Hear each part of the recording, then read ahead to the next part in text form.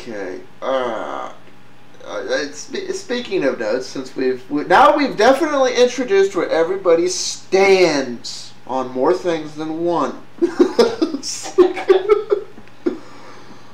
oh, uh, da, da, da, da, da. Uh, I don't. Stolen valor law. Say that again. What is the stolen valor law? Uh, yeah, this is an interesting little law they got. Um, it's going around the things. Basically, if you pretend to be a member of the armed forces, particularly in reference to having uh, gotten medals that would be awarded to the armed forces individuals, like Purple Hearts, Medals of Honor, things of so forth, and you're doing this publicly uh, for personal gain, you are subject to a stolen valor law. I, if I'm remembering correctly, it was passed in 2006 by Congress. 2005. 2005. Okay. It, and did it get and it got enacted the next year then.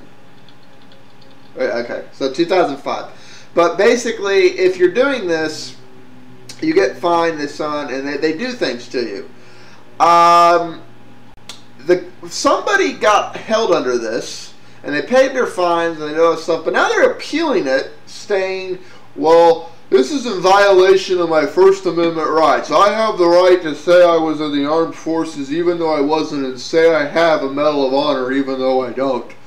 Because that's my First Amendment right. I can say whatever I want to say. Who did he say it to? He's, uh, he's trying to make a case for the Supreme Court. Well, did, wait, he said that he could say that. Well, who who did he say it to that he got in trouble with? Did he say it to an employer or to? Uh, it, wasn't. I forget. It was. Uh, I I, I want to say he was like on a council board. It was an employment situation. He was using it for basically to get and maintain the job. Uh, uh, Zay, apparently you know the story I'm talking about here. Well, um, I agree with him. I think that. It, it's, and you know, if you're doing it for a government job, I don't know, because the government job has extra. Well, but where do you draw the line there? You know, it's okay. I, I, I would say that it's it's like. Uh, I'd say that they should have the right to fire him for lying, but I don't think that the government should get involved with something that um, they shouldn't, because I mean, I, you I, can say whatever. I agree. I think that you know that for this stuff, you know, people can brag and lie. I could say I'm rich and super successful at a bar or something. I don't see why I can't say it at a job. It's it's it's still, you know, if they want to catch me on a lie, and they can probably find out if I don't have a Medal of Honor just through a simple Google search. You know, if they find it out, they fire me. And that's fine. They fired me for lying. I should go to jail for it. There's things that you, there's things that there's reasons not have the First Amendment on, like I'm going to kill you, stuff like that. This isn't one of them. Okay. So y'all are both of the agreement that this should be handled by the pre-existing fraud laws and so forth, and basically this law never should have become law in the first place. Yeah. Okay. Uh, to play devil's advocate, since I've been put in that situation, um, okay, so here's here's what I'm talking about. Like, if if I if I say, I just want to clarify a little bit. If I say to get a job, oh yeah, I was in the army, I got a few medals, and they hire me for that, that's good. That's fine.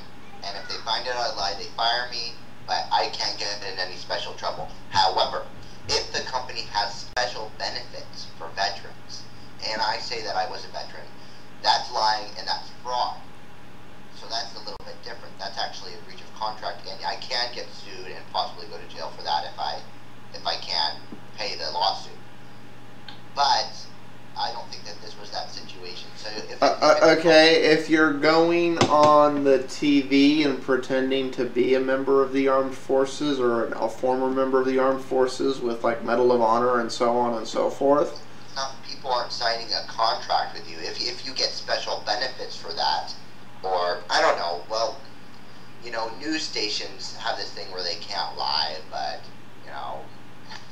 you it, it Well, that, that's journalism ethics, but that's I, I, again that's between them and their employer, and what their employer will let them lie or not lie about.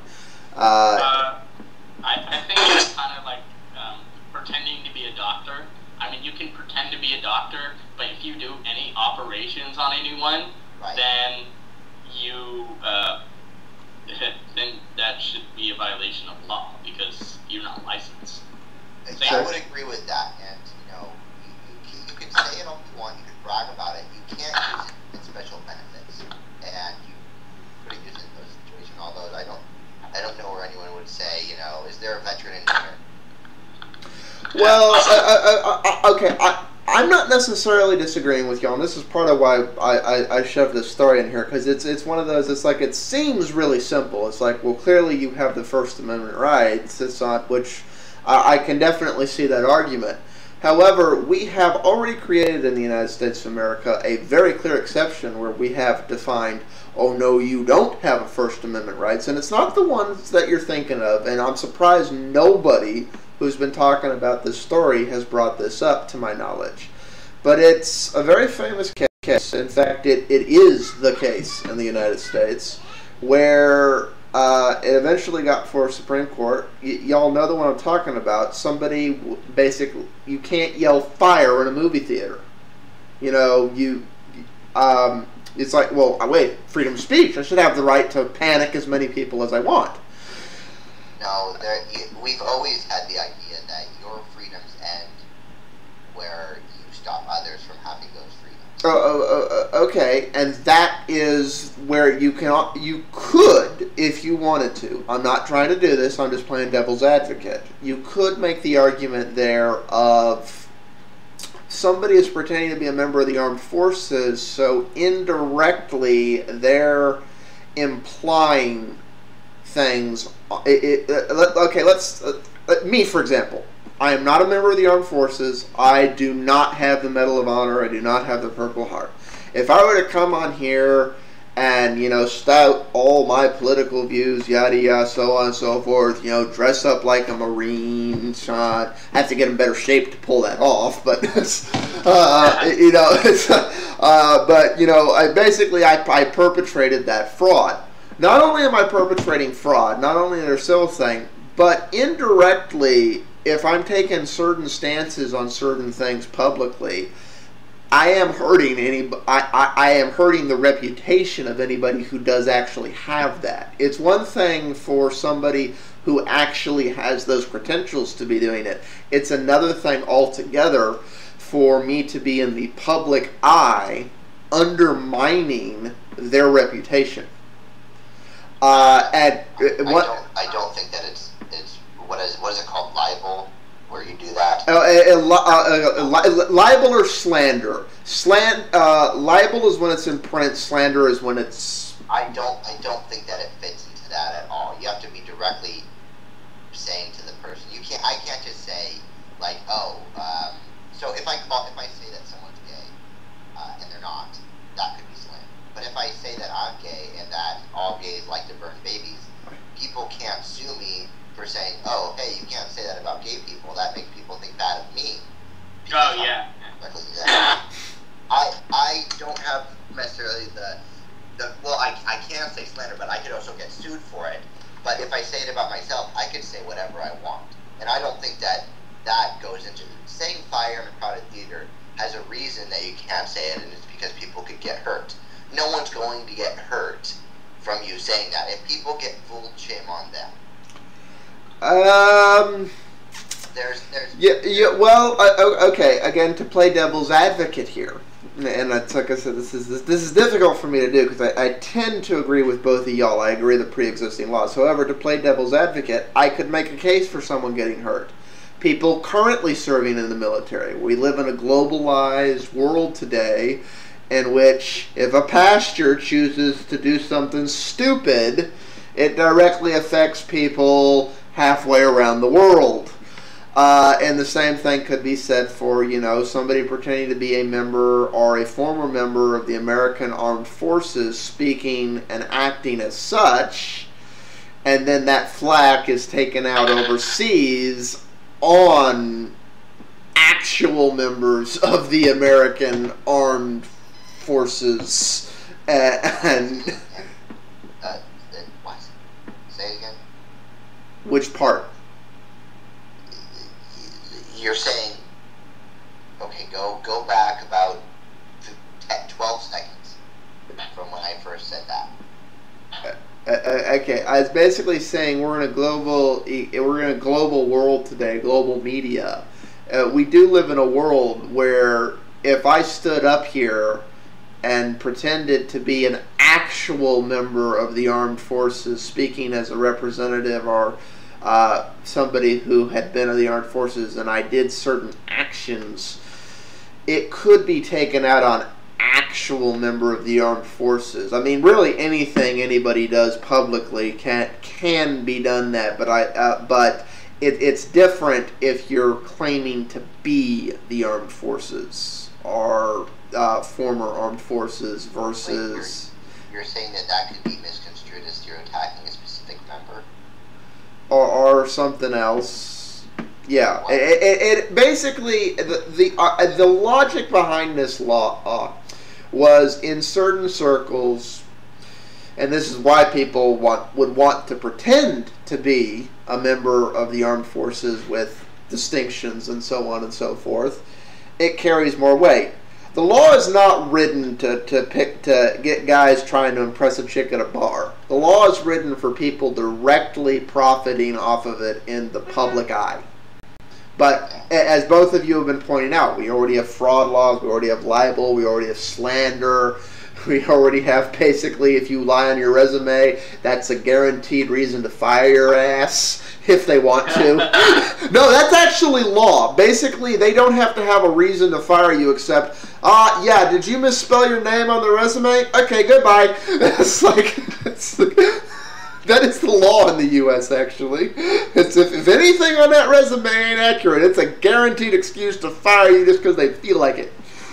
also, um, I, I think whether or not um, it, it has that um, certain effect, it's still a violation of the First Amendment. I mean, making exceptions to something, uh, or to something in our Constitution that we've been, you know, carrying for such a long time, and that our founding fathers told us to protect, is just not following what we were told and um, restricting the freedom. Well, we're, we're not supposed to follow what we were told. It's a, Well, I mean- it's a republic if we can keep it, and half of us didn't think we needed the Bill of Rights. So, you know, let's be honest here. We started from the get go, not th- uh, thinking for ourselves, not so much doing what we were told. You know? I mean, I mean, doing what we're told in terms of uh, keeping our rights. That's what I'm saying, because that's kind of like the whole point of the Constitution, keeping our rights. I, I, I tend to agree. Uh, and um, it, it, it's it's it's a divided thing. About you know about half the country is like, well, wait, wait a minute, you know, th- th- this ain't right. And the other half of the country is like, wait, wait a minute, that ain't right. I, I mean, I mean, you could make the same argument for a police state versus a free society. I mean, you can give up freedom for safety, but that doesn't necessarily mean that's a good thing. I mean, we can we can install security cameras in every house and have people not commit as much crimes, but that's, I mean, it's not a good thing either way. That, that, you know what? If we ever do that, and I hope to God we never do, that would be a really interesting sociological experiment. How long can humans go without snapping with no privacy and ability to just be the crazy little people they are in, in their own time? Adjust to it. Say that again? I think we would adjust to it. I think that the government could do that. I think that. Uh, So you, you, you you think the end result would be society would just lose its inhibitions and be okay with the peep show and everything else? uh, except for uh, save a very small amount of people. Okay, but those very small amount of people, how long you figure before they just As long as the government could handle that.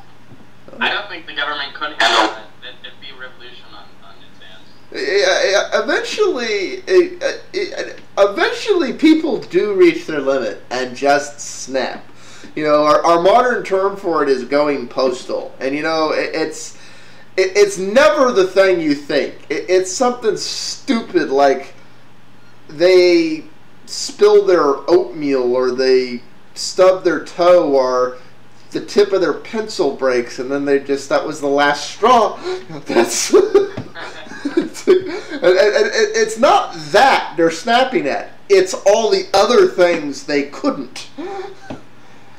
It's uh it's interesting. Uh okay uh what, what, do we want to move on to because we've got uh, by the way people's feedback on the stolen valor thing or this song. where the heck do y'all think i my personal belief when it comes to the liberties outlined in the Constitution and the Bill of Rights, and it sounds like y'all lean the same way. So it's like I'm, I'm having to play devil's advocate for a position I don't agree with. Um, is that these rights only exist so much as we extend them to I personally think people who are doing that is wrong. You know, uh, but you know, if we try. Right it, yeah, well, yeah. If we try and legislate morality, you know, I'm trying to think of all the things I do that there's probably millions of people that think are wrong. You know, it's tons of. Uh, yeah. It, it, like, and if you're honest, look in the mirror and think: Is there anybody in this world who wouldn't like me doing this? Oh shit! it's like I think every person, uh, when you look at any person, there's a million people who think everything they do is wrong. Is wrong. Yes, but they but most people aren't that honest with themselves. They think they're they're right, and everybody else knows they're right. Exactly, but I don't think government should be regulated on that fact, and I, neither do I think you guys